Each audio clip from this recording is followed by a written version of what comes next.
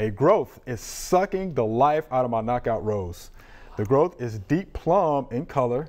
There are no thorns. The stems are hollow and it grows small, funny shaped roses, sometimes a whole different color. If I don't continuously cut off the growth, it will kill my bush. And this is from Francis.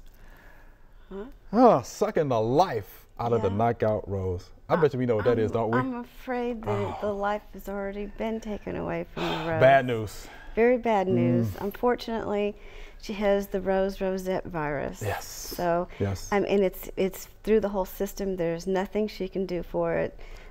There's there's yeah. just dig it up and I, I wouldn't even suggest putting another rose yeah. in that place for a while um, because it's just there's no cure for that. But there's hope. Yeah, there's hope. I mean, yeah, our uh, you know folks there in Nashville mm-hmm. entomologists and plant pathologists are actually doing some experiments, right? They are. Uh, with rose rosette mm-hmm. in what, Cumberland Plateau, I think. I believe so. Yeah.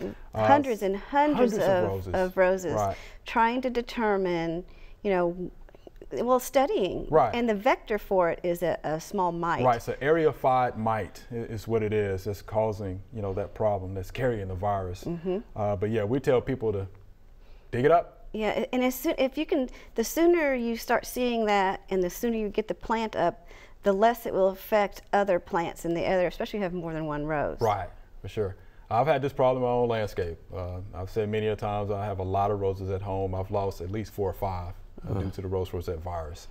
Um, mm-hmm. Yeah, and what you're seeing there is the excessive vegetative growth, right. which can be any color of red, you know, yes. for the most part. It doesn't necessarily have to have all the thorns or excessive thorns. Yes. Uh, but yeah, when you see that flush of vegetative growth that looks real bunch-like. Yes. Witch's broom.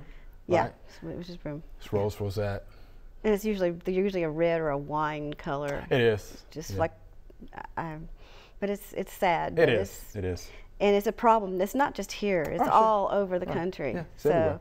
They're they're really mm-hmm. aggressively trying to find a cure for the the vector. Right and keeping the vector off from infecting the roses. But yeah, as research, research, as research comes right. out, we will let everybody we will know. let folks know. There's a lot of research being done. done. I think Texas A&M Extension mm-hmm. uh, is helping our folks out here with UT Extension, and uh, yeah, as soon as they find out something, they'll let us know, let us and we'll let you know. We hope you loved the video. We would love for you to ask more questions. Be sure to leave those questions in your comments.